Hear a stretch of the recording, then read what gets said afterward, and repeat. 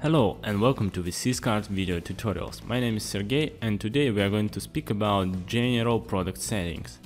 As an example I'm going to use this hoodie because uh, it has uh, lots of options, uh, the brand and other specific things that I'll be speaking about later. Okay, in this video we will be speaking about general settings only and uh, specifically about uh, information option settings, pricing and inventory. Availability and extra will be in the next video. Okay, let's roll. The name field. The name displayed at the product list and at the product page. Clear. Okay, categories.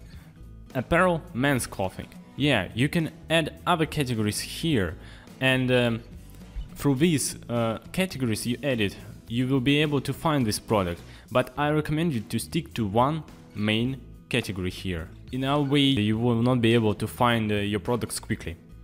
Price. Clear. Full description. We already have it. Edit content on site. The same thing uh, as with uh, the category or content on site editing, but uh, you will be redirected to the products page. Think as clear. Status active, hidden, disabled for this product individually. Okay, images. Yes, this is the main image of your product. Uh, from this image will be created thumbnails. Uh, the thumbnails created automatically by CS-Cart. The thumbnails are used at the category page, at the cart page, at the admin panel, and so on. Lots of small pictures created automatically by CS-Cart. You can also add other pictures by um, going to this tab and adding uh, these pictures. I'll be speaking about it later.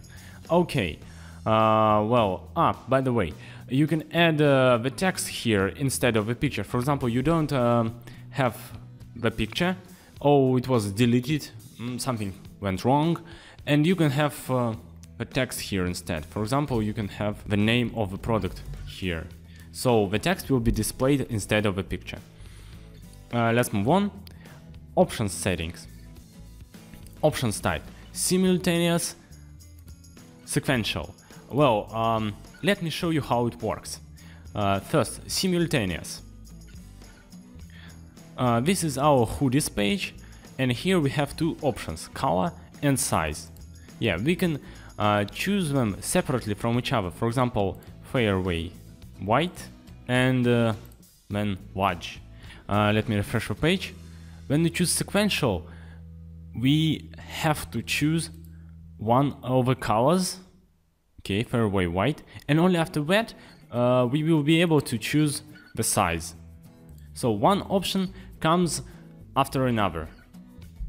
That's how it works. Let's go back. Next exceptions type allows you to choose what kind of um, combination will be used as exception uh, forbidden combination or allowed combination. Yeah, we're speaking about option combinations. I will have a detailed review of options and option combinations uh, in the next videos, so don't miss it.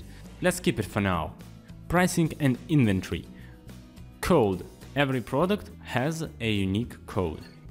List price. Yeah, the price of your rivals or maybe of your suppliers or manufacturers, yeah, you can uh, add uh, the higher price here to create a discount. In stock, the same as uh, the quantity. Zero price action. Uh, do not allow customers to add the product to cart, allow customers to add the product to cart, ask customer to enter the price. Well, for example, let's change the price here and make it zero. And after that, Okay, uh, save it and then back uh, to the products page. Here we go. Yeah, contact us for a price. So I'm unable to add this product to the cart. But if we choose uh, allow customers to add the product to the cart, I, I think it's clear. Uh, it, it is well positive. Um, ask customer to enter the price. Yes, and then we change it. We can enter a price here. For example, I want to pay $30 for this hoodie. I don't want to pay more. It is useful for the charity. Uh, for example, you want to sell some things and then uh, give money to poor, raise uh, the charity, help someone, and you use this option. Can be useful sometimes. Alright, let's go back. Inventory. Track without options, track with options. So, uh, when you create the product combinations and add options um, to your product, just is in our case we have color and size. You can track uh, the product without options and when someone uh, buys your hoodie, the quantity uh, will decrease from 20 to 19 for example. Uh, but when you track with options, not just uh, the quantity of your product will decrease, but also the quantity of your combinations. Yeah, so when you choose track with options, your combinations of products, for example, medium-sized uh, green and white hoodie will also get its own quantity, uh, like 10, 20, I don't know, it, it depends on you. And um, your number will decrease after every purchase. That's how it works. I will show you it later. Minimum order quantity, maximum order quantity, I think that's clear. Uh, for example, you have to buy five hoodies at once and you cannot buy less. I'll show you. Uh, quantity step. Uh, for example, quantity step is 2. So you have to buy two hoodies at once. And least quantity count. Um, we have 20 hoodies now and uh, least quantity count is uh, 4. Now let me show you this construction. We go here. Yeah change it. And here we go. Minimum quantity for trefoil hoodie is 6 and now we can buy uh, either 6 or 8 10 and 12 yes. Uh, because uh, we have four steps here. The minimum order quantity is 5 so we cannot uh, order less than 5 and we have to buy by two hoodies so 6 8 10 and 12 we have only four steps. That's why we have four numbers here.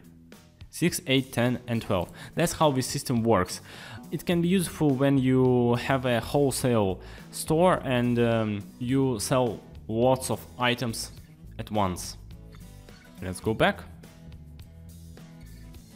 and uh, the last box here is the taxes. Yeah, just check, uncheck it, it's up to you. Uh, you can also, by the way, uh, preview your item, clone it and delete it. Speaking about taxes, when you add new taxes to your store, they will be displayed here. And you can privately check or uncheck specific taxes for the specific products. This was the first part of a general product settings review. In the next video we'll be speaking about availability settings and extra general settings. Stay tuned! Thanks for watching and see you in the next CS-Cart video tutorial.